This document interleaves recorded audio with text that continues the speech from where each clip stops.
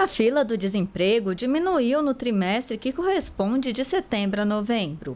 Isso significa que 887 mil pessoas começaram a trabalhar no período.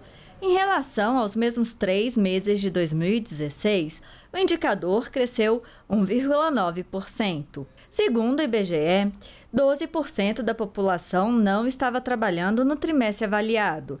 Essa é a menor taxa do ano. Essa redução ela se deu principalmente em função do aumento de trabalhadores, ou seja, aumentou a população ocupada em relação ao trimestre passado em relação também ao ano passado.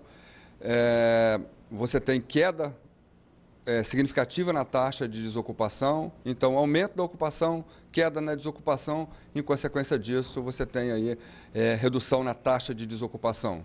A pesquisa mostrou que o número de empregados com carteira de trabalho assinada ficou estável frente ao trimestre anterior. Já as pessoas trabalhando sem carteira assinada cresceu 3,8%. Entre setembro e novembro, 23 milhões de pessoas trabalhavam por conta própria.